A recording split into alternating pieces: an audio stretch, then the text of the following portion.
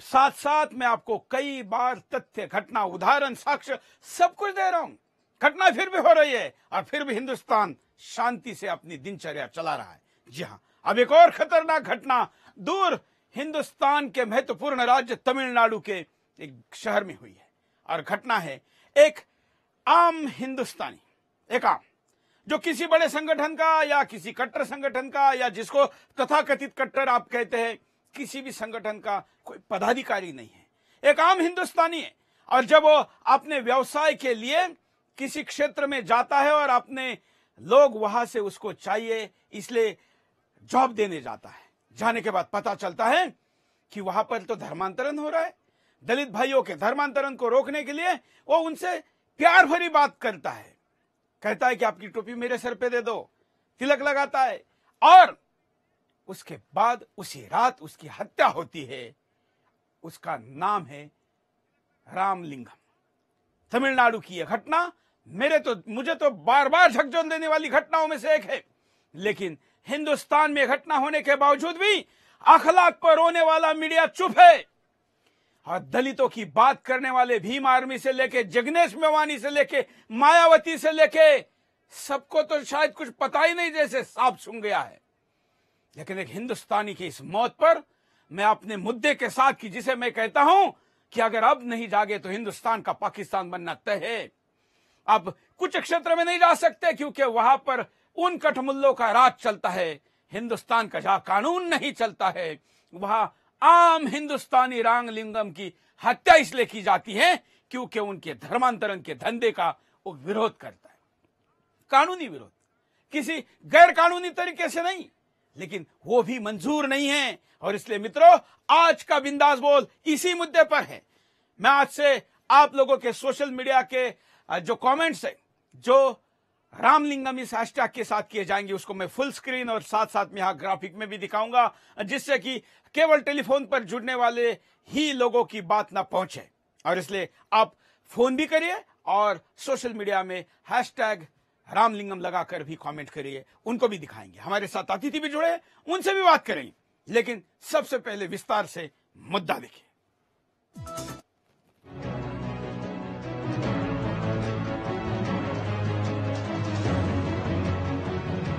अखलाक की हत्या पर पूरे देश का मीडिया चिल्ला रहा था। देश के हिंदू समाज पर कट्टर होने के आरोप लगाए जा रहे लेकिन जब मुस्लिम भीड़ ने एक हिंदू का कत्लेआम कर दिया तो सब चुप है। न कोई तथाकथित मीडिया खबर को दिखा रहा है और न ही देश के ढोंगी बुद्धिजीवी पुरस्कार वापस कर रहे हैं। जब हिंदू का कत्लेआम मुस्लिम भीड़ करती है तो उसमें कोई असहिष्णुता नहीं होती। जी हाँ ऐसी ही ढोंगी मानसिकता से हिंदू और मुसलमान की हत्या का राजनीतिक फ़ायदा उठाते हैं हिंदू विरोधी। अगर किसी लड़ाई में मुसलमान की मौत हो गई तो वो मॉब लिंचिंग है। और अगर हिंदू मर गया तो मनमोहन सिंह से भी बड़ी चुप्पी।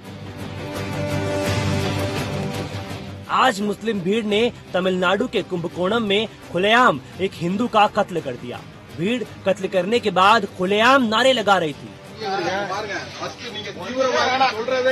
आतंकी संगठन पीएफआई तमिलनाडु में दलित हिंदुओं का लगातार और ज़बरदस्ती धर्म परिवर्तन करा रहे हैं। दलित बस्तियों में दलित हिंदुओं के घरों पर हमले किए जा रहे हैं। ऐसे में दलित रामलिंगम ने विरोध किया। विरोध करने पर पीएफआई के लोगों ने बोला कि तुम भी टोपी पहन लो।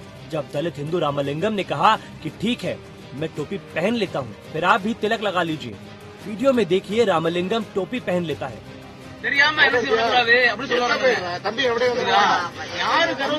लेकिन रामलिंगम के तिलक लगाने को बोलने पर भीड़ उसकी हत्या कर देती है। रामलिंगम ने टोपी पहन ली, क्योंकि वो हिंदू था और सभी धर्मों का सम्मान करता था। लेकिन वहीं जब रामलिंगम ने मुस्लिम से कहा कि आप तिलक लगा लो, तिलक लगाने को बोलने पर मुसलमानों को गुस्सा आ गया और भीड़ ने रामलिंगम की हत्या कर दी। ऐसे में कई सवाल उठ रहे हैं, क्या आपसी सौहार्द सिर्फ़ टोपी पहनने से होता है? अगर किसी ने आपसी सौहार्द के लिए तिलक लगाने की बात कह दी तो क्या उसका कत्ल कर दिया जाएगा? क्या सौहार्द बनाने का जिम्मा सिर्फ़ हिंदुओं का ही है? क्या गंगा जमुनी तहजीब निभाने की ज़िम्मेदारी सिर्फ़ हिंदुओं की है? क्या आपसी सौहार्द बनाए रखना सिर्फ़ हिंदुओं की ज़िम्मेदारी है?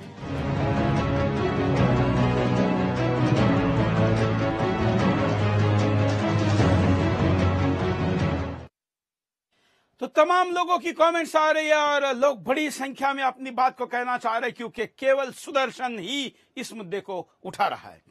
इस मुद्दे को मैंने ना केवल यहाँ उठाया, बल्कि आज जंतर मंतर पर जब जनसंख्या नियंत्रण कानून के लिए बड़ी जनसंसद हुई तो उसमें मैंने श्रद्धांजलि दी। और आज मैं टीवी पर पहली बार इस वक्त मुझे जो मोबाइल पर देख रहे वही खड़े हो जाए। जो टीवी पर देख रहे अपने टीवी के सामने खड़े हो जाए।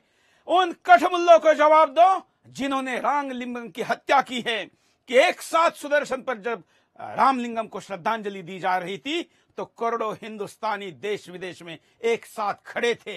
यह संदेश जाना चाहिए, और इसलिए मैं आह्वान करता हूँ आज आपको, सुदर्शन के दर्शक तो वैसे भी राष्ट्रवादी विचारों के दर्शक होते हैं।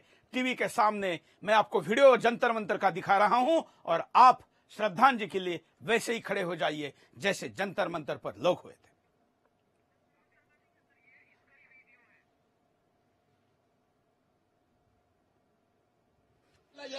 எங்க தெருவுல வாங்க உங்களுக்கு நான் ஒரு வீடு வாங்கி தரேன் இந்த மனையை நான் வாங்கி தரேன் எங்க அண்ணன் விட்டு மனை தான் உங்களுக்கு வாங்கி தரேன் உங்க தெருவுல எனக்கு ஒரு வீடு வாங்கி தருவீங்களா எனக்கு முஸ்லீம் தெருவுல வீடு வாங்கி இப்போ இப்போ எல்லாரும் சேர்ந்து பழகுறாங்க எங்க இப்ப நொட்டுறாங்க சார், எங்க நொட்டுறாங்க நான் இந்த மனையை வந்து எங்க அண்ணன் விட்டு மனை தான் நான் வாங்கி தரேன் हम तकनीकी कारणों से आपको श्रद्धांजलि का वीडियो नहीं दिखा पा रहे उसके पहले हम आपको दिखाते हैं कि आ, क्या घटना हुई थी उसके बाद हम श्रद्धांजलि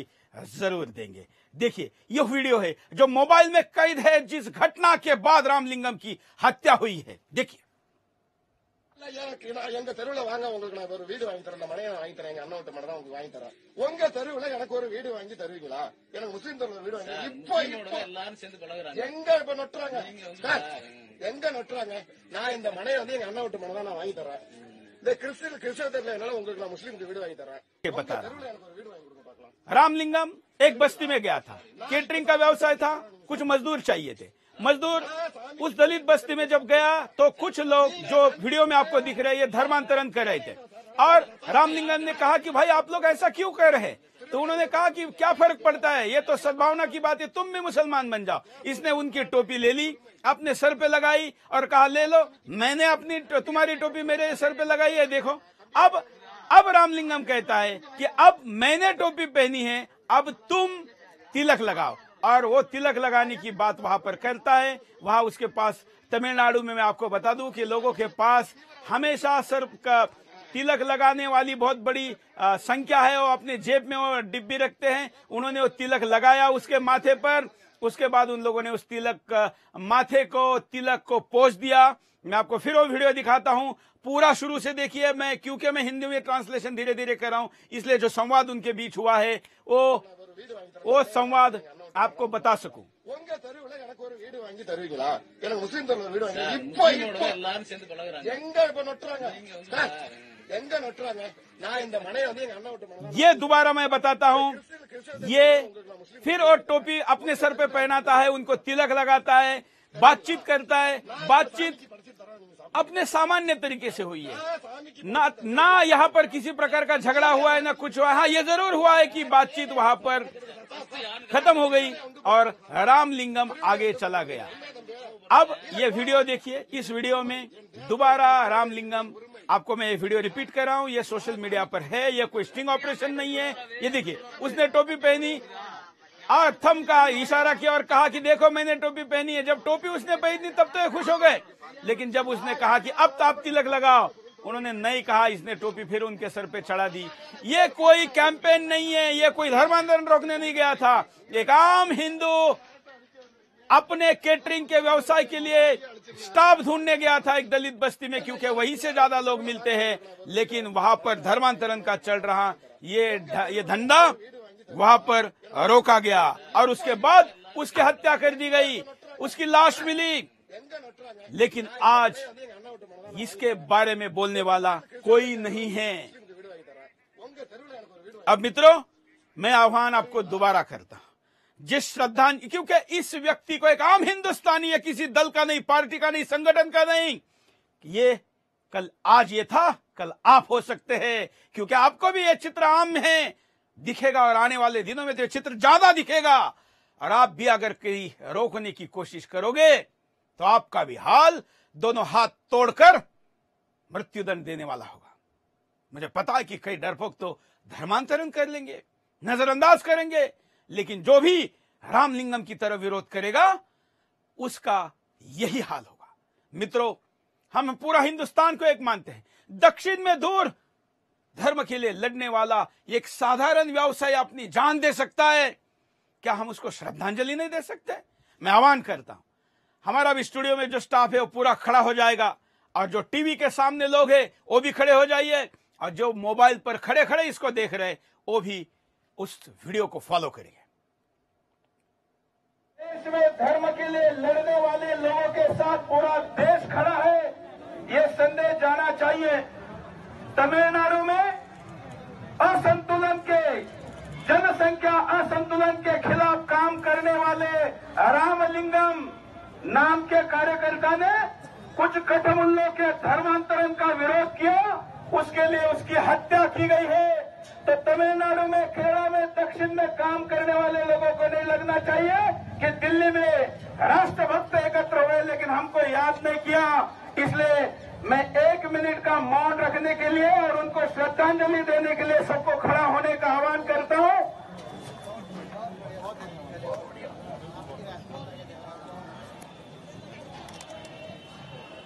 हाथ जोड़िए और मेरे पीछे कहिए और इस प्रार्थना के बाद एक मिनट का मौन रखेंगे। बोलिए, हम सब ईश्वर से प्रार्थना करते हैं। राष्ट्र धर्म की रक्षा के लिए शहीद हुए हुतात्मा रामलिंगम जी को सदगति दे, शांति दे और उनके संघर्ष को यश दे।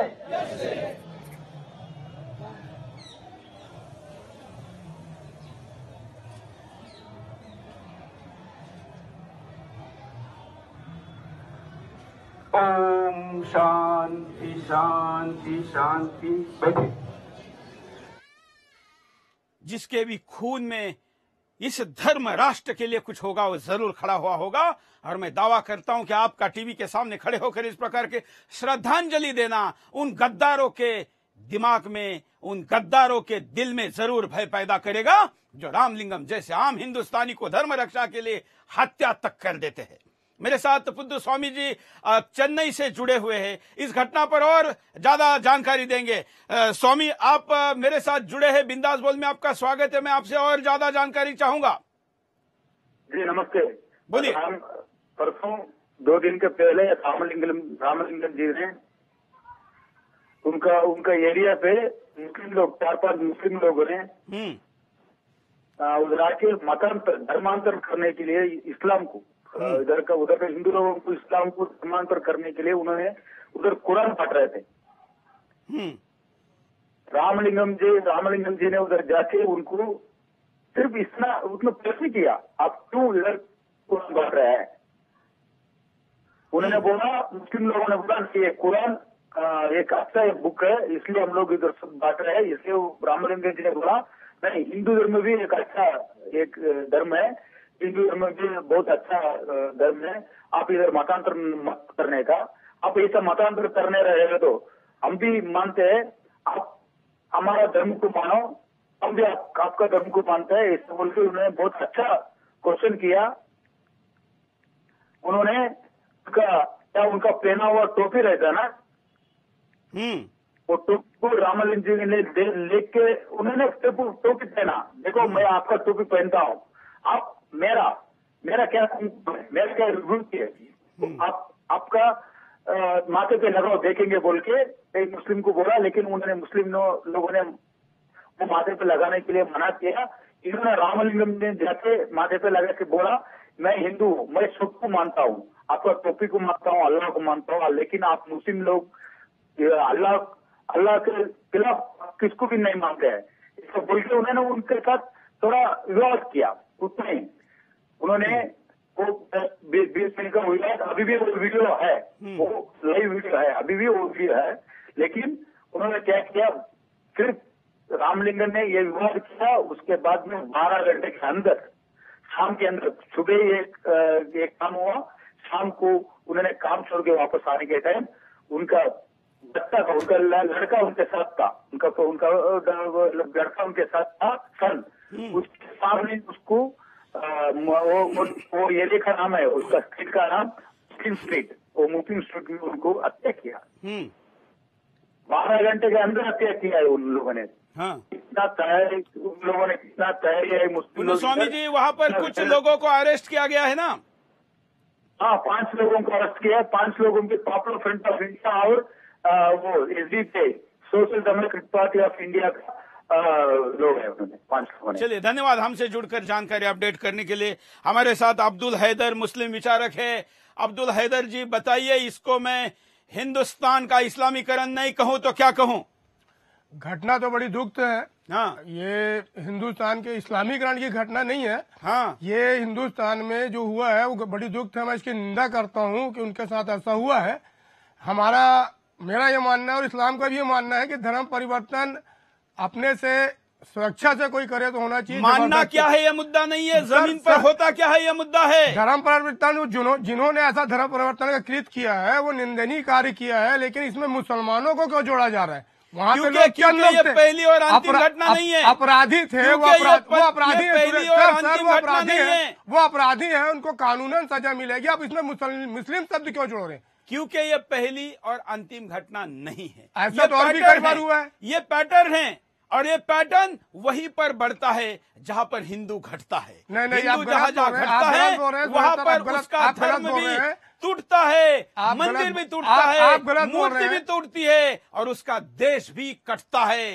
ये अब तक का इतिहास है और इसलिए आपके सामने हिंदुस्तान के सामने मैं इस मुद्दे को लेकर आ रहा हूँ मैं आपको पूछ रहा हूँ क्या आप ये नहीं कहेंगे कि इस प्रकार का जो भी कटमुल्ला कर रहा है उनको फांसी देनी चाहिए।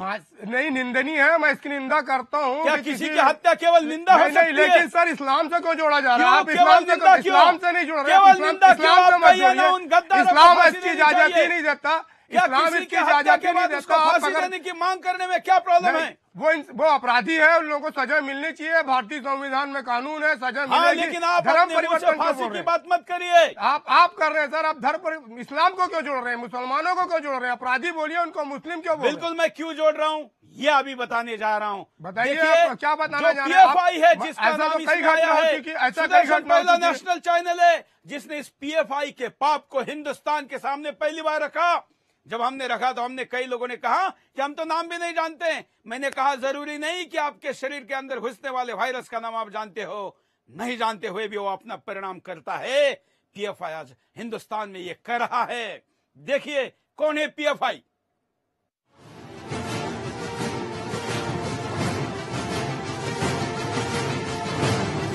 Popular front of India एक ऐसा संगठन जो कहता है कि वो गरीबों की मदद करता है। पिछड़ों को न्याय दिलाता है लेकिन हकीकत में मदद करने का पीएफआई ने सिर्फ़ चोला ओढ़ रखा है। यहाँ पर भी पॉपुलर फ्रंट के कैडरिंग कुत्तों के सामने सामना होता है तो हिंदुस्तान की सरजमीन गवाह है। पॉपुलर फ्रंट के नौजवान उनको सड़कों पर दौड़ा दौड़ा कर मार रहे हैं। जी हाँ पीएफआई सिमी और इंडियन मुजाहिदीन जैसे आतंकी संगठन का दूसरा नाम है।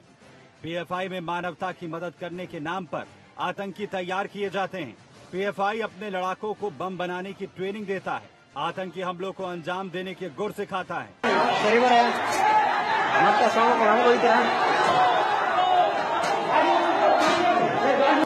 दूसरे धर्मों की लड़कियों को लव जिहाद में फंसाने की ट्रेनिंग देता है पीएफआई अपने लड़ाकों को। मुंबई से लेकर पुणे और अहमदाबाद में पीएफआई के आतंकी बम ब्लास्ट में शामिल रहे। पीएफआई के आतंकी पाकिस्तान और अरब में आतंकी ट्रेनिंग लेकर भारत को दहलाते हैं। हवाला के ज़रिए पीएफआई को पैसा मिलता है। ये पैसा आतंकियों की ट्रेनिंग और जिहाद में मदद करता है। 2010 में केरल के मुख्यमंत्री अच्युतानंद पीएफआई के षड्यंत्र का पर्दाफाश करते हैं।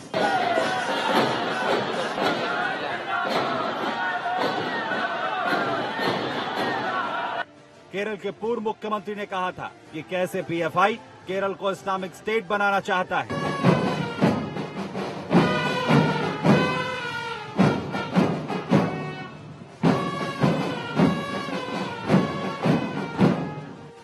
कैसे केरल में लव जिहाद की शिकार हो रही हैं दूसरे धर्मों की लड़कियाँ खौफ के साय में जीने को मजबूर हैं।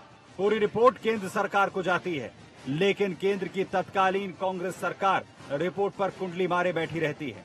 ऐसे में कई सवाल खड़े हो रहे हैं। आखिर क्यों केंद्र की तत्कालीन कांग्रेस सरकार पीएफआई पर कार्रवाई नहीं करना चाहती थी? क्या कांग्रेस की तत्कालीन सरकार को वोट बैंक का डर सता रहा था? क्या कांग्रेस सरकार वोट बैंक के लिए आतंकवाद से समझौता करना चाहती थी? अभी बीच में ही हमारे पास ये रिपोर्ट आ गई है इन्वेस्टिगेशन में।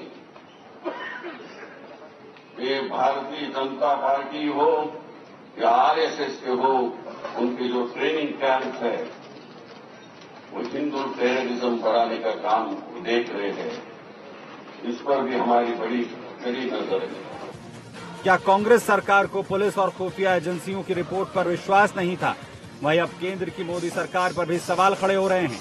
आखिर क्यों देश की मौजूदा सरकार पीएफआई को बैन नहीं कर रही है? क्यों अभी भी आतंकियों को पनपने का मौका दिया जा रहा है? क्यों अभी भी देश में पीएफआई पैर पसार रहा है? परेड को देखते हुए ये महसूस हो रहा था कि शहरों और खरियों में खून की होली खेलने वाले शैतानों के खिलाफ एक अवामी ताकत वजूद में आ गई तो आपने देखा कि ये सेना की तरह खड़ा किया जा रहा संगठन हिंदुस्तान में क्या हालात पैदा कर रहा है? आप किसी को जाकर ये भी नहीं कह सकते कि तुम कुरान बांटकर किसी का धर्मांतरण क्यों कर रहे हो। ये भी नहीं कहा कि उसने कई पुलिस बुलाई, कोई कार्रवाई हुई, कोई झगड़ा किया, कोई मॉब लिंचिंग हुई। कुछ नहीं। एक व्यक्ति एक प्रतिक्रिया दिया और वहाँ से चला गया। लेकिन इतना भी स्वीकार्य नहीं है, क्योंकि धर्मांतरण के धंधे के आड़े आने वाला हर व्यक्ति का रामलिंगम होना तय यह घटना किसी हिंदुस्तान के क्राइम की तरह नहीं हुई है। जैसा कि अब्दुल हैदर कह रहे यह घटना का पूरा पैटर्न बिल्कुल आईएस के ऑपरेशन जैसा है। अब्दुल हैदर जी आप कह रहे कि ये सामान्य क्राइम है। हाथ भी वैसे ही तोड़े गए जैसे आईएस तोड़ती है, तालिबान तोड़ता है। पूरा घटना का पैटर्न, आईएस का पैटर्न है। और आप कह रहे क्राइम है? सर, मैं आपके चैनल में मेरा आने का मकसद ही ये था कि आपको बताऊँ, आपके चैनल को बताऊँ, जो राष्ट्रवादी चैनल होने का दावा करता है और राष्ट्र के लिए लड़ता है, मेरे को दो मिनट समय दीजिएगा। पहले आप हिंदुस्तान के मुसलमानों की हालत जान लें। आपके चैनल के जो दर्शक हैं, वो भी जान लें कि हिंदुस्तान में मुसलमान आखिर रहता है तो किस प्रकार का मुसलमान है? और आपकी जानकारी के लिए बता दूँ कि जो पी एफ़ पीएफआई है वहाबी है, देवबंदी संगठन है जिन लोगों को विदेश से पैसा मिलता है उसका यहाँ तो पे आप बोलिए सर सर यहाँ पे रुके लगना सर बात आप बात आप बोलिए आप जानकारी ले लीजिए। लगना चाहिए। आप, आप पहले जानकारी ले लीजिए हम लोग क्या करते हैं। आप ये कहिए कि पीएफआई आपके कहने आप रुके ना आपके कहने आपके कहने से मेरी मेरी समय दीजिए मेरा जो समय उसको सुन लीजिए आपको प्रवचन देने के लिए नहीं बुलाया जानकारी नहीं ना आपको। हाँ, आप ये बोलिए कि पीएफआई एक आतंकवादी हाँ है आतंकवादी हम लोग भी विरोध करते हैं हम लोग भी इसका विरोध करते हैं। बोलते रहिए। हम लोग भी इसका विरोध करते हैं, आपको नहीं मालूम है, मैं इसलिए बोल रहा हूँ बार बार कि मुस्लिम से मत जोड़िए। हिंदुस्तान का 95 परसेंट जो मुसलमान है आप विरोध की बात कर रहे हैं आप कहिए ना कि पीएफआई दहशतवादी संगठन है उसको बैन किया जाए। पीएफआई नहीं सर ऐसा तो हिंदुस्तान में सीमी भी है हम तो सीमी पर भी बैन की मांग करते हैं और हम लोग ने मांग किया भी है। और आपने एक अच्छी बात कही आप उसको दोहराइए कि विदेश से पैसा लेने वाला कोई विरोध कर सुरेश सर लेकिन आप तो समय दे रहे नहीं आप तो अपनी सुना रहे हैं मैं वो एक सेकंड एक मिनट दीजिए मेरे को मैं एक मिनट में बहुत कुछ बोल सकता हूँ। आप जान लेंगे कि हिंदुस्तान का मुसलमान कैसा है। हिंदुस्तान में पंचानवे परसेंट मुस्लिम जो हैं वो सूफी मत वाले हैं। पाँच परसेंट में ये पीएफआई वहाबी देवबंदी सीमी ऑर्गेनाइजेशन आता है जिसकी- तो हम लोग खुद मांग कर चुके हैं। आपकी गवर्नमेंट से भी और आपके चल रही है केरला में तेरह हम लोगों ने मांग कहा कि हम आप आज़ाद हो गया हमारा झंडा होगा हमारा कानून होगा यहाँ पर तिरंगा नहीं फहराया जाएगा। ऐसे जहाँ पर उपजने वाले साथ संगठन है। मत जोड़िए। आप कह रहे हैं कि हिंदुस्तान के मुसलमान को मत जोड़िए। हिंदुस्तान का मुसलमान पीएफआई के साथ नहीं है। हिंदुस्तान का मुसलमान सीमी के साथ नहीं है। अब्दुल हैदर जी आप आप सिया है। नहीं मैं सुननी हूँ। तो सुन्नियों के द्वारा जिस प्रकार से विदेश से पैसा लाकर वहाँ भी इस्लाम यहाँ पर फैलाया जा रहा है वहाबियों- उसका विरोध होना चाहिए। हाँ, हम लोग करते हैं हम लोग विरोध करते हैं। आप आप तो वक्त ही नहीं दे रहे सर। आप तो खाली अपनी बताना चाह रहे हैं कि मुसलमानों ने किया। मैं कह रहा हूँ वहाबियों का देवबंदियों का सीमियों का सुन्नियों लोगों ने विरोध किया है। शासन से पचासों बार ज्ञापन दे चुके हैं। इन संगठनों पर बैन लगना चाहिए। इनके जो धर्म परिवर्तन के तरीके उस पर बैन लगना चाहिए। लेकिन होता यह है कि आपका शासन और और शासन और उनको मदद करता है। और मदरसों में मदद जो आतंकवादी बन रहे हैं उन पर भी बैन लगना चाहिए हम कहिए। आ- आप अभी बोल रहे हैं आपका चैनल आज बोल रहे हैं सुन्नी संगठनों ने पिछले पंद्रह साल से मांग कर रहे हैं। क्या? कि सीमी पर बैन किया जाए हंड्रेड परसेंट बैन किया जाए। मदरसों पे भी बैन किया जाए। जी बिल्कुल किया जाए। तो ये बात आप कह रहे हैं तो अच्छी बात है मैं आपकी बात का समर्थन करता हूँ। और हिंदुस्तान में, धर्मांतरण के नाम पर धंधा गंदा संधा चलाने वाले लोगों का विरोध होना चाहिए। तो। मुसलमानों को हमारे साथ कई कॉलर जुड़े उनके पास चलते हैं कि कॉलर क्या कहना चाहते हैं। जय हिंद बोलिए। क्या कहना है आपका? हाँ बोलिए। काही नाही सर मतलब सर्व हिंदूचा नेतृत्व दाखवलं सर बाकी सर अच्छे नेटवर्क में आकर अपनी कॉल को करें। आपका आवाज़ साफ़ सुनाई दो। इसका प्रयास करें अगले कॉलर के पास चलते हैं। जय हिंद बोलिए क्या कहना है जो आप जो हिंदू का जो मुसलमानों ने इस तरीके अत्याचार कर रहे हैं उसका तरीका सिर्फ़ एक है आपके पास में। हम्म। वाल्मीकि से लेकर राजपूत तक एक हिंदू हिंदू रहना चाहिए। ये आपको मंदिरों में करना पड़ेगा सबसे बड़ा मुसीबत मंदिर कर रहे हैं ये पैदा।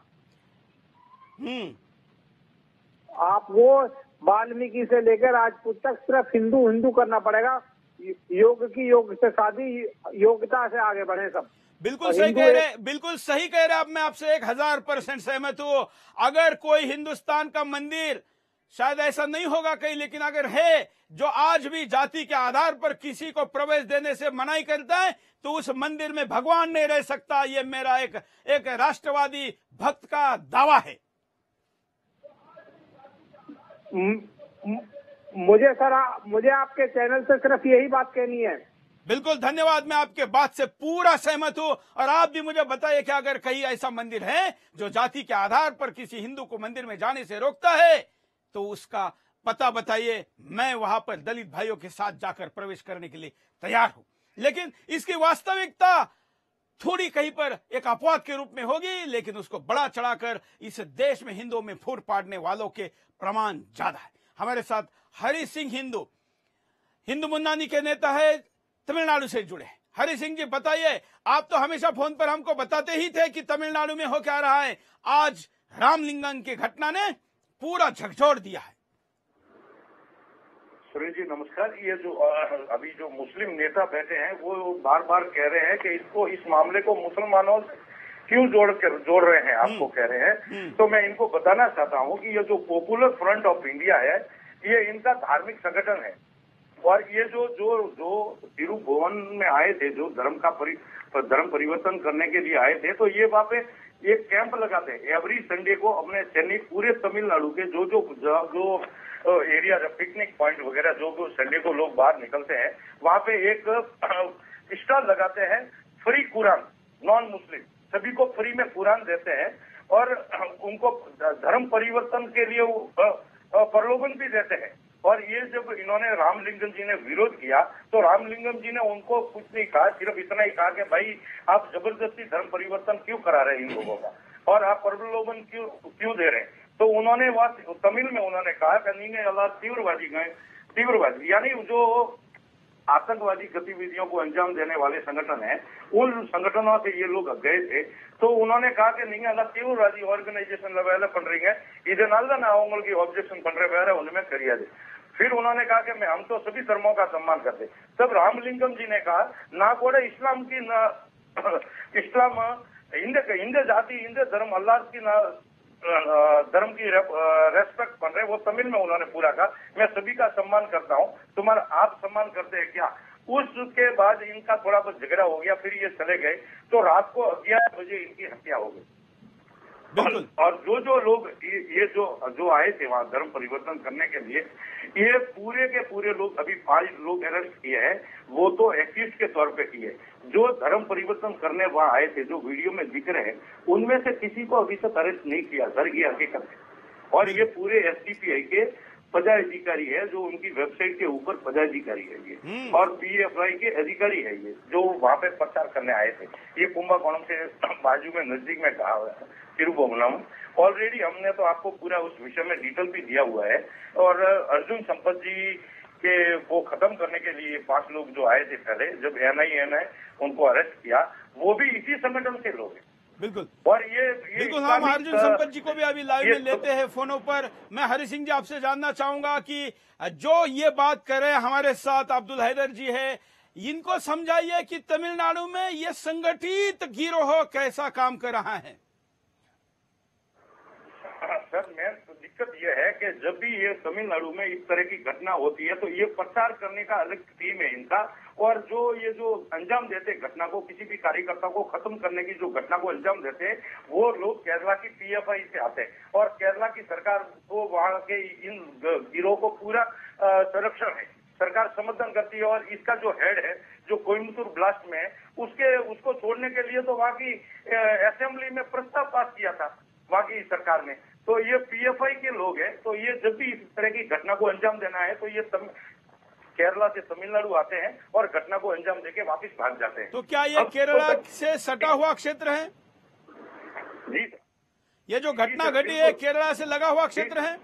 बिल्कुल क्षेत्र है और पीएफआई का हेडक्वार्टर और पूरी एक्टिविटीज़ केरला में होती है और ये जो भाई साहब जो इस्लाम की बात कर रहे हैं इनको इस विषय में पूरी जानकारी है। अभी जब जब कोई मतलब ब्लास्ट हुआ, उसके अंदर तो वो तो उस टाइम तो कांग्रेस की सरकार थी, सर। उस उस जमाने में पूरी चार्जशीट में पीएफआई है एसडीपीआई है, पूरे एक्टिव जितने भी अभी तक, अभी अभी तक, सर, हमारे 153 कार्यकर्ता मारे जा चुके 153 इनको थोड़ा गूगल में ये सर्च कर ले। 153 तमिलनाडु में हमारे कार्यकर्ताओं की हत्या कर दी गई है। बम ब्लास्ट संघ कार्यालय में बम ब्लास्ट हुआ, ग्यारह कार्यकर्ताओं की हत्या हो गई।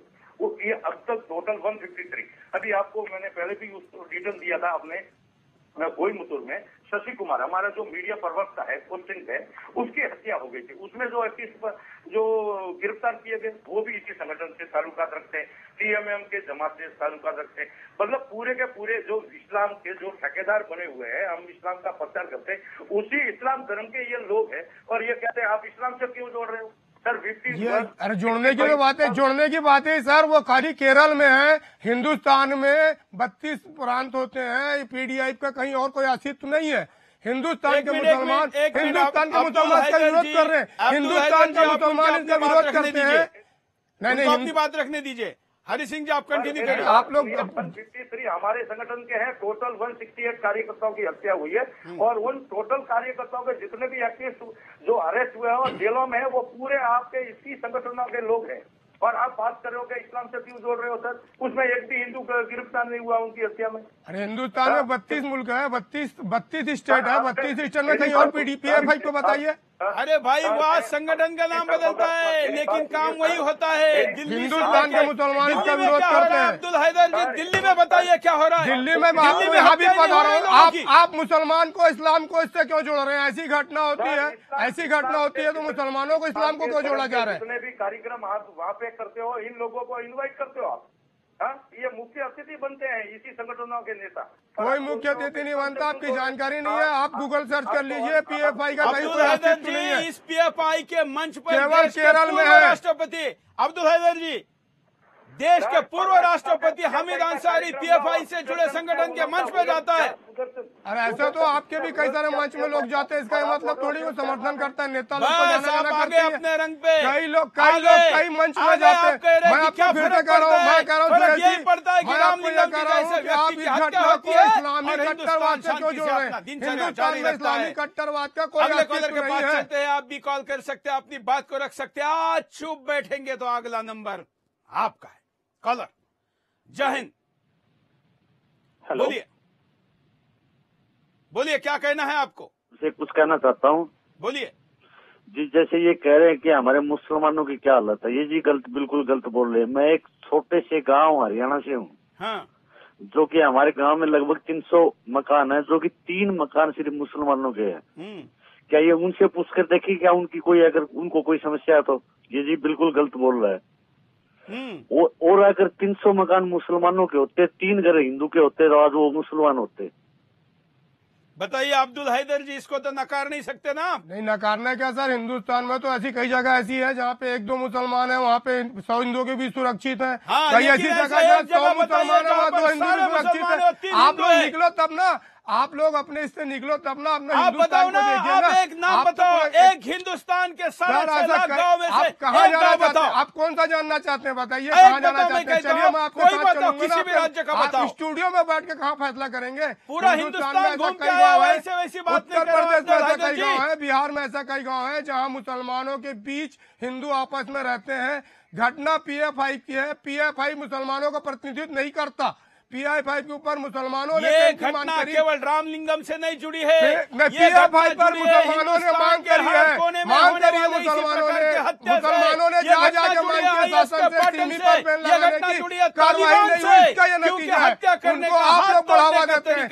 वही है। जो धर्म प्रचार के लिए और इस्लाम का विरोध करने वालों के के- साथ किया जाता है तमाम घटनाएँ ये वीडियो आप अगर देखेंगे फ़ोटो देखेंगे जिस प्रकार से हाथ तोड़े गए रामलिंगम के आपको पता चलेगा कि इसी प्रकार से हाथ तोड़े जाते थे औरंगज़ेब के जमाने में। इसी प्रकार से हाथ तोड़े जाते थे आईएस और तालिबान में आज भी तोड़े जा रहे।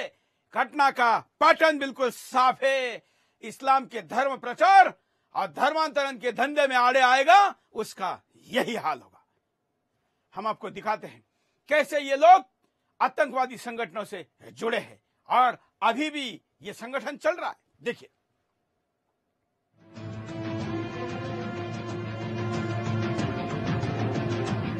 मुंबई, पुणे और हैदराबाद। आतंकी वारदातों में पॉपुलर फ्रंट ऑफ़ इंडिया के लोग पकड़े गए। मुंबई में 2011 में बम ब्लास्ट होता है। वहीं 2012 में पुणे आतंकी हमले में दहल जाता है। हैदराबाद में 2013 में आतंकी हमला होता है। खुफिया एजेंसियाँ तीनों जगहों पर हुए हमले की जाँच करती हैं। लेकिन जाँच में खुफिया एजेंसियों का दिमाग चकरा जाता है। केरल का नया नवेला इस्लामिक आतंकी संगठन पॉपुलर फ्रंट तीनों हमलों में शामिल पाया जाता है।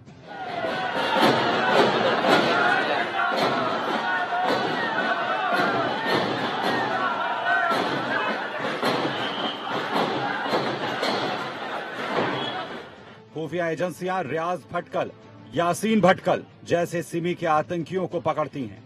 वह इस्माइल अफीक को 2015 में अरेस्ट किया जाता है। सईद इस्माइल पॉपुलर फ्रंट का सक्रिय सदस्य है। सईद इस्माइल बम बनाने की सामग्री, जिसमें अमोनियम नाइट्रेट, जिलेटिन स्टिक और नॉन इलेक्ट्रिकल डेटोनेटर के ज़रिए बम तैयार करता है। वहीं इस्माइल अफीक 9-11 और 26-11 के सीरियल ब्लास्ट की बरसी पर 2014 में बम बनाने की एक्सप्लोजिव पहुँचाने की बात खुफिया एजेंसियों को बताता है। अफीक ने बताया कि बम बनाने का ये एक्सप्लोजिव कर्नाटक के कोस्टल से आसानी से मिल जाता है। अफीक को 2015 में अरेस्ट किया गया था। और इसके बाद पता चला कि अफीक इंडियन मुजाहिदीन, सिमी और पॉपुलर फ्रंट के लिए लगातार काम कर रहा था। यही नहीं, अफीक कई बार पाकिस्तान गया और आईएम चीफ हसन रियाज और इकबाल भटकल से मिला। यही नहीं, होम्योपैथ का ये डॉक्टर अफीक दुबई और पाकिस्तान में सिमी और आईएम की कई मीटिंग्स को अटेंड कर चुका था। अफीक पाकिस्तान में इकबाल भटकल से बम बनाने की ट्रेनिंग लेकर आता है और इंडिया में भटकल ब्रदर्स से मिलता है 2011 में। भटकल ब्रदर्स को अफीक 20 डेटोनेटर बनाकर सौंपता है। पैसा हवाला के ज़रिए पहुँचता है भटकल ब्रदर्स को। और इसके बाद भटकल ब्रदर्स मुंबई, पुणे और हैदराबाद में ब्लास्ट की प्लानिंग करते हैं।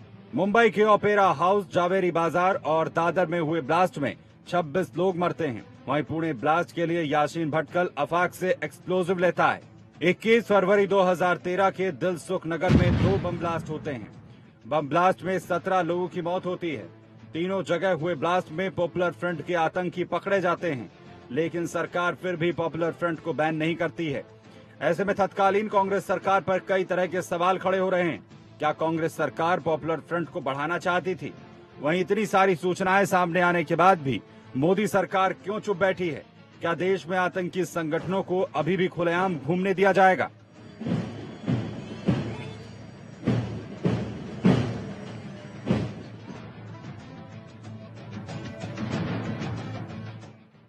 कॉलर के पास चलते हैं। जय हिंद बोलिए। नमस्कार सर मैं शुभम कुमार सिंह। हाँ। मैं सर ये कहना चाहूँगा कि जो अपने हिंदू भाई के साथ हो रहा है ये सब गलत हो रहा है। हम्म। तो इनके लिए अब हमें सर एकजुट होकर बहुत कड़ा विरोध करना चाहिए और जितनी आज़ादी इन मुस्लिमों को दे रखा है इनसे छीन लेनी चाहिए। जैसे पाकिस्तान में हिंदुओं के साथ करते हैं वैसे इनके साथ सौतेला व्यवहार करना चाहिए सर अब। बहुत हो गई आज़ादी सर ये लोग को आज़ादी का जो है हमें ही मतलब दबाना चाहते हैं। धन्यवाद। ये बात तो कानूनन तो कोई कहेगा कि असंवैधानिक कही है लेकिन अब्दुल हैदर जी जब आदमी प्रताड़ित होता है तो ये बात बोलता है जिसका समर्थन नहीं हो सकता। लेकिन ये बात बोलने पे करोड़ों हिंदू क्यों मजबूर है सोचिए सोचिए। उन्होंने कहा तो, तो हम भी कह सकते हैं और रह गई आज़ादी छीनने की बात तो अभी ऐसी नौबत हिंदुस्तान में मुसलमानों के लिए तो आई नहीं है। और ना मुसलमान ऐसा काम करता है जिससे आज़ादी छीनी जाए। मैं आपसे फिर से बार बार कह रहा हूँ सुरेश जी कि आप जिनको जोड़ रहे हैं वो लोग का विरोध तो इस्लाम के लोग भी करते हैं हिंदुस्तान के मुसलमान भी तो करते हैं। आतंकवादी लोग करने की बात नहीं कर रहे। हूँ। आप तो नहीं कह रहे कि इस्लाम गद्दारों को फांसी दो। आप इस्लाम आप तो कह रहे हिंदुस्तान के कानून से कार्रवाई होनी चाहिए। अरे थोड़ा सा गुस्सा हमारे लिए आपके मन से निकलेगा मुँह से निकलेगा। पहलू कान की सुकून मिलेगा लेकिन आप इसको इस्लाम तैयार नहीं है। मुसलमान से जोड़ेंगे ये गलत है। आप उनको अपराधियों से जोड़िए वो अपराधी है। उनको कड़ी से कड़ी सजा देनी चाहिए बीच चौरों में फांसी लगाइए जो एक निर्दोष को मारते हैं। दूसरी बात कभी भी मैं मान, मैं मानता हूँ कि किसी भी धर्म के आस्था के चीन के प्रतीकों को किसी को भी ना पहनना चाहिए, ना स्थान ग्रहण करना चाहिए। सबको अपने धर्म को मानना चाहिए। चाहे वो टोपी लगाने की बात हो, चाहे वो तिलक लगाने की बात हो। टोपी सिर्फ़ मुसलमान को लगाना है तो मुसलमान को लगाना चाहिए। तिलक हिंदू को लगाना तो हिंदू को लगाना चाहिए। छदम भाईचारा नहीं करना चाहिए। यहाँ छदम भाईचारा किया जाता है, ज़बरदस्ती की जाती है, नारा लगवाया जाता है। नहीं होता तब मारा जाता है। उस समय मुसलमान भी मरता है, उस समय हिंदू भी मरता है। तो मेरा सिर्फ़ कहना यह है कि जिसको हिंदुस्तान के मुसलमान विरोध कर रहे थे तो आपके शासन, आपकी अभी चार साल की शासन तो बड़ी राष्ट्रवादी शासन आप लोग कहते हैं, इन लोगों ने इन पर बैन क्यों नहीं लगाया? मैं आपको कम से कम नब्बे जिलों का ज्ञापन दिला दूँगा, जिसमें सीमी, पीएफआई और जितने आतंकवादी संगठन है, इसमें बैन लगाने की मांग दस सालों से मुसलमान कर रहे हैं। आखिर क्यों ये प्रशासन सोया हुआ है? जब तक प्रशासन जागेगा नहीं ये घटना घटेगी। ईमानदारी के साथ कर रहे हैं हिंदुस्तान मैं आपके आपके चैनल में लाके दस्तावेज़ दिखा दूँगा मैं आपके चैनल में लाके के दस्तावेज़ दिखा दूँगा। प्रतीकों के लिए हो रहा है हाँ, लेकिन इसका इसके ये मतलब नहीं कि सभी मुसलमान दोषी भ्रमित करने के लिए हो रहा है ये जब तक लगेगा तब तक ये बात लोगों के मन से आएगी। हम किसी मतलब धर्म के खिलाफ नहीं है और हम किसी पूजा पद्धति के खिलाफ नहीं है। लेकिन अगर इस देश के हिंदू को अपना अधिकार छीनकर उसकी हत्या कोई करता है तो उसका विरोध होता था। विरोध हो रहा है और विरोध जारी रहेगा। अगले कॉलर के पास चलते हैं। आप भी कॉल कर सकते हैं। जय हिंद। जय हिंद सर। बोलिए। सर मैं राजेंद्र भगत जम्मू से बात कर रहा हूँ। हाँ। और ये जो कहा जाता है कि यहाँ जो मुस्लिम विचारक जो बैठे हुए हैं और ये बात कर रहे हैं कि हिंदू और मुस्लिम जो है वो एक साथ बैठकर सदियों से रहते हैं। मैं इनको दिखाना चाहता हूँ कि कभी आप कश्मीर में गए हैं? वहाँ आपने देखा है कि वहाँ कितने हिंदू हैं जो वहाँ पर जाते हैं और वहाँ पर रहते हैं। और आप तीन सौ सत्तर इस स्टेट के अंदर लगा हुआ है। लेकिन बाहर का कोई भी व्यक्ति आकर यहाँ बस नहीं सकता। लेकिन पूरा कश्मीर जो है वो सर्दियों में पूरे जम्मू में आ जाता है। लेकिन कोई भी हिंदू जो है वो कश्मीर में जाकर नहीं बस सकता, नहीं रह सकता। उसको एक या दो दिन भी अगर रहना पड़े तो छुप छुप कर रहना पड़ता है। और यहाँ ये बात होती है कि हिंदू और मुस्लिम जो है सब एक साथ मिलकर रहते हैं। मैं जानना चाहता हूँ कि हिंदू पर तो ये सब कुछ लागू होता है कि वो हिंदू और मुस्लिम एक साथ रह सकते हैं।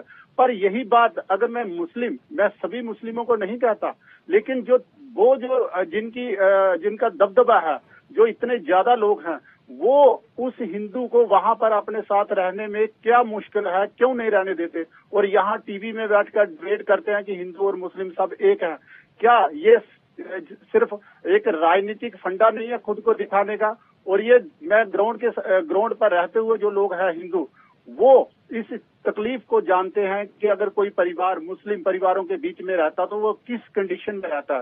शायद इनको ये चीज़ का पता नहीं बिल्कुल है अब्दुल हैदर जी अब आप जवाब दीजिए कि कश्मीरी पंडितों को भगाने वाले क्रिमिनल थे या धर्मांध मुसलमान थे? बताइए। कि वहाँ पे उन लोगों ने उनको जो भगाया उसका भी विरोध हिंदुस्तान का मुसलमान कर रहे हैं जो आपके कालर है मैं उनको बता देना चाहता हूँ आप मैं- उसको भी क्राइम कहेंगे केवल? हर हर चीज़ को क्राइम किया जाएगा जो गैर कानूनी है मैं जिस शहर में रहता हूँ मेरे शहर में हम लोग की तादाद तो दो परसेंट नहीं है सर। उसके बावजूद हम हिंदुओं के बीच सहोदर से रहते हैं। आप ऐसा मेरे बाद मेरे बाद जो रायपुर है वहाँ पे भी मुसलमानों के बीच हिंदू रहते हैं। मोहल्ले में तीस तीस हज़ार मुसलमानों के बीच दो दो सौ मुसलमान हिंदू रह रहे हैं कभी लड़ाई नहीं होती। मेरा आप मेरा आप लोगों से विरोध ये इस बात का है इस घटना का विरोध नहीं है। इस बात का विरोध है कि इसको इस्लामीकरण से क्यों जोड़ा जा रहा है? अगर इस्लामीकरण ही होता तलवार के बल पे होता तो आठ सौ साल यहाँ पे हिंदुस्तान में मुसलमानों ने राज किया तो फिर हिंदू तो बचते नहीं चाहिए। कैसे बचे हिंदू? क्योंकि बचे कि हम लोगों ने नहीं सर इस्लाम में इंसान को मुसलमानों के दया के कारण बचा नहीं, है। संघर्ष इस्लाम और में बलिदान इंसान के कारण बचा है। जाती नहीं संभाजी महाराज जैसे लोगों ने रहे गर्दनें कटवा दी। हमारे सिख गुरुओं ने अपने बच्चों को तक दीवारों में चिनवा तो दिया। क्या दया की बात कर रहे हैं आपको लगता है कि औरंगज़ेब के दया से हिंदू बचा? चाहते हैं कि लड़ाई हो। आप क्या कहते हैं औरंगज़ेब की दया से हिंदू बचा है बिल्कुल गलत बात है औरंगज़ेब तो? ने ऐसा कोई कार्य ही नहीं किया था आपकी जानकारी है आप इतिहास को तथ्य को तोड़ मरोड़ कर हाँ। आगे आप अपने रंग पे क्या। आपको मैं बताऊँगा दिखाई देता है औरंगज़ेब कि शांति उनके दूत जैसा है रास्ता जो गुजरा औरंगज़ेब को भारत तो रत्न की की है। औरंगज़ेब को वैसे भी आप बादशाह कहते हैं तो वही बताइए को तो ऐसे वही लोगों को पूजने के कारण ही आपको रामलिंगम जैसे व्यक्तियों की हत्या होती है ऐसी हत्याओं को रोकना है तो इस देश से औरंगज़ेब जैसे दरिंदों के नामों निशान को मिटा देना चाहिए। तभी तो उनके कर्मों से कोई आदर्श नहीं हैं। और रामलिंगम आप- की हत्या नहीं होगी। अगले कलर के पास चलते हैं। जय हिंद। बोलिए। बोलिए। जय हिंद। क्या कहना है आपको? जय हिंद सर मैं मैनपुरी से बोल रहा हूँ यूपी से मैनपुरी से। हाँ। मैं मैनपुरी के यूपी से बोल रहा हूँ। बोलते रहिए। हाँ मैं मैनपुरी के यूपी से बोल रहा हूँ। सबसे पहले मैं रामलिंगम जी को सशक्त नमन करता हूँ जिन्होंने अपनी बलिदान दे दिया हिंदू हिंदू धर्म के लिए। हम्म। एक ऐसी जगह पे जहाँ पे एक कम्युनिस्ट पार्टी एक वामपंथी पार्टी कांग्रेस के इशारे पे हिंदुओं को कत्लेआम करा रही है। हम्म। ठीक है सर? बिल्कुल। और और मैं जो अब्दुल अब्दुल हैदर जी बैठे हुए हैं इनसे पूछना चाहता हूँ कि पूरी दुनिया में इस्लामिक आतंकवाद का ही नाम क्यों आता है? हम्म। और अगर कहीं भी अल्पसंख्यक कोई है पूरी दुनिया में कोई अगर अल्पसंख्यक है तो वो हिंदू है चाहे वो पूरी दुनिया हो या हिंदुस्तान हो। हिंदुस्तान में ही हिंदू अल्पसंख्यक हो गया है क्योंकि हम्म अब्दुल हैदर जी क्योंकि- बताइए क्योंकि दुनिया इनको में बांटने का काम- इनको बांटने का मुसलमानी क्यों काम है ये सवाल है? आप आप ये बताएँ सुरेश जी और आप, आपके कलर को ये बोलना चाहता हूँ कि वो बताएँ कि कितनी जगह आतंकवादी हो रही है। आतंकवाद से जो पीड़ित हैं वहाँ पे मुसलमान ही है। चाहे वो इराक हो चाहे वो सीरिया हो चाहे वो लीबिया हो चाहे वो ईरान हो चाहे वो अफ़गानिस्तान हो क्योंकि वहाँ पे दूसरे सर वहाँ पे तो कोई हिंदू मुस्लिम की बात ही नहीं है। वहाँ पे तो हिंदू वहाँ पे काटा जा रहा वहाँ पे तो कोई हिंदू मुस्लिम की बात ही नहीं है। वहाँ पे तो कोई हिंदू को नहीं मारा तालिबानियत जा रहा है। आतंकवादी का कोई मज़हब नहीं होता। आतंकवादी आतंकवादी होता है। हम लोग वहाँ पे जो आतंकवादी गतिविधियाँ हो रही है, वो जितने मुल्क हैं, आज की तारीख में वो इस्लामी मुल्क कहलाते हैं। आपको यह बता दूँ कि आतंकवादी कोई मुसलमान नहीं बनाता। इस्लाम में तो आतंकवाद को सबसे पहले इस्लाम दुनिया में आया तो उसने आतंकवाद को ही खत्म किया। वाह हम- क्या शांति के सर आपको तो पता ही नहीं है। आपको तो पता ही नहीं इस्लाम तो के बारे में। देना आप चाहिए, इस्लाम के बारे में जानते ही नहीं। आप आपने इस्लाम को कभी पढ़ा ही नहीं। आप इस्लाम को पढ़े ही नहीं कर रहे हैं। इस्लाम को पढ़े ही नहीं बहत्तर लोग बहत्तर। होना चाहिए। अगले कॉलर के पास चलते हैं। जय हिंद। बोलिए। हाँ जी मैं हाँ मैं अश्विनी भाटिया बोल रहा हूँ दिल्ली से। बोलिए अश्विनी मैं जी ये हाँ हाँ मैं ये कहना चाहता हूँ कि ये इनका कसूर नहीं है। जो इनको शिक्षा दी जाती है जो इनको शिक्षा मिलती है वो यही पढ़ाती है कि जो दूसरा गैर मुस्लिम है उसको जीने का अधिकार नहीं देते, पूरा इतिहास रहा इनका। और पूरी दुनिया में आज भी यही सब कुछ हो रहा है कि यहाँ भी गैर मुस्लिम है, उनको ये मारकर मिटाने का या उनको धर्म परिवर्तन करवाने का ही कार्य करते हैं। और ये हिंदुस्तान का दुर्भाग्य है कि पार्टीशन एक हिस्सा लेने के बाद भी इन लोगों को यहाँ बसा लिया गया। ये हमारे रहमो कर्म पे रहने चाहिए थे, लेकिन ये यहाँ भी अब फिर दोबारा से लोगों को दबाने के लिए और हिंदुओं को मारने के लिए हर प्रयास में रहते हैं। लोगों का गुस्सा लोगों के मन में अपने पुरखों के गलती का पश्चाताप तमाम वो बातें गलत यही भाषा है सर उनसे ये गैर कानूनी कहने जाने वाली बातें भी लोगों से बुलवा रहे हैं। लड़ाई बनाई जा रही है। हाँ? यही भाषा है जो आपके कॉलर ने बोली जो हिंदुस्तान में नफरत फैला हम क्यों किसी के रहमो करम में रहेंगे सर? हम हिंदुस्तानी हैं हिंदुस्तान में हमको भी बराबरी का अधिकार मिला है। बिल्कुल, और हमारे देने के बावजूद यहाँ जिन्होंने रखा- आप, क्या- आप लोगों ने क्या लाजा बिल्कुल बिल्कुल जिन्होंने पाकिस्तान बनने के बावजूद रखा लड़े। उनके हमारे आप लोग- पुरखों के गलती आप का तो पश्चाताप करने वाली। घटनाएँ जब सामने हो रही है इस घटना तो निश्चित तौर पर लोगों की ये भाषा समझ नहीं होनी चाहिए लेकिन निकल रही है। हर अपराधी अगले कॉलर। जय हिंद। बोलिए। बोलिए। सर बोल रहे हैं। हाँ। यह जितना हिंदू मुस्लिम बनने जा रहे हैं हम्म। ये सबका जड़ हिंदुए लोग है। हम्म। जो मजबूर करते हैं छोट कास्ट के लोगों के जो मुस्लिम बनने पे उतारू हो जाते हैं। बिल्कुल सही कहा आपने धन्यवाद। लेकिन दलितों की बात कर कर राजनीति करने वाले दलितों के नाम से वोट बैंक करने वाले दलितों के नाम पर हिंदू हिंदू में जातीयवाद फैलाकर हिंदुत्व को कमज़ोर करने वाले लोग कहा है? इस दलित भाइयों की हत्या के ऊपर, उनके ज़बरदस्ती लालच देकर धर्मांतरण के ऊपर। रावण कहा है जो दलितों का नेता बन बैठा है सहारनपुर में? जिग्नेश मेवानी कहा है जो गुजरात में विधायक बन बैठा है दलितों के नाम पे? और मायावती कहा है जो देश का प्रधानमंत्री बनने का सपना देख रही है? तमिलनाडु में हो रहे हिंदू भाइयों के अत्याचारों के खिलाफ बोलने के लिए तैयार नहीं है। इन लोगों के मुँह का ताला आप लोग खोल सकते हैं। बस जाति के ऊपर उठिए, धर्म को, राष्ट्र की बात करिए। हम किसी धर्म विशेष के खिलाफ नहीं है, लेकिन जब लगातार इस प्रकार की घटनाएँ होती है तो देश के मन में इस प्रकार का भाव आना स्वाभाविक हो जाता है। और ये भाव ही इस देश के लिए खतरनाक स्थिति पैदा करने जा रहा है। एक पत्रकार होने के नाते, जैसे कहा जाता है जहाँ न पहुँचे रवि, वहाँ पहुँचे जहाँ न पहुँचे, कभी वहाँ पहुँचे रवि आज दिखाई दे रहा है कि हिंदुस्तान के आने वाले दिन ठीक नहीं रहेंगे अगर इन प्रकार की घटनाओं पर रोक नहीं लगे। और इसके लिए जनसंख्या नियंत्रण कानून की मांग में हमेशा कर रहा हूँ, वही दिखा रही है कि जहाँ जहाँ हिंदू घटता है, वहाँ कैसे घटता है। आज के लिए इतना ही। जय हिंद।